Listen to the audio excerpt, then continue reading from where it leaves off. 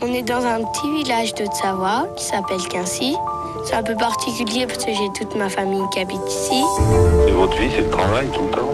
Ah ben oui, mais nous pensons qu'il n'y a pas d'autre façon de faire pour essayer de s'en sortir et améliorer nos conditions de vie. C'est particulier cette année parce que ce sera notre neveu et sa femme qui vont prendre la relève. On va déjà essayer de digérer cette reprise parce que c'est pas un petit morceau. Un peu on y fait aussi parce que ça nous plaît, je Ouais, pense. aussi. La première des choses, c'est ça. hein. Moi, ça fait depuis que je suis gamin que je ramasse. C'est mon père qui m'a appris, assis à côté, tu vois.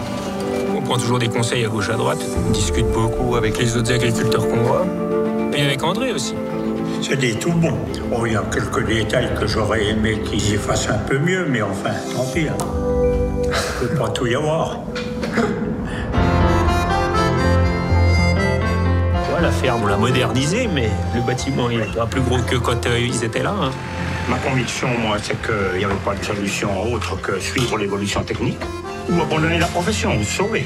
Il y a le robot partout maintenant dans les usines et tout, ce qui remplace des hommes, pourquoi pas euh, qu'ils nous remplaceraient pour frères. hein. Ça donnera peut-être plus de goût aux, aux jeunes.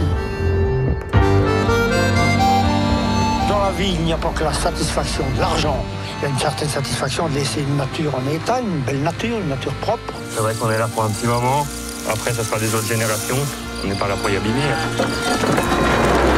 On est bien le bout, hein. On est bien là.